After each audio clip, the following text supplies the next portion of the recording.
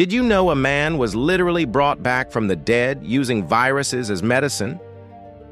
Tom Patterson was a respected professor at UC San Diego, living a quiet academic life with his wife, Stephanie.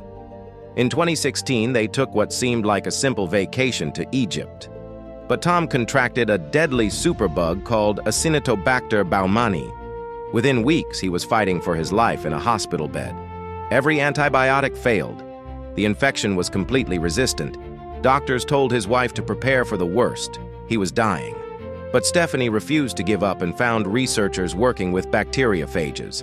These are viruses that eat bacteria, genetically modified to target Tom's specific infection.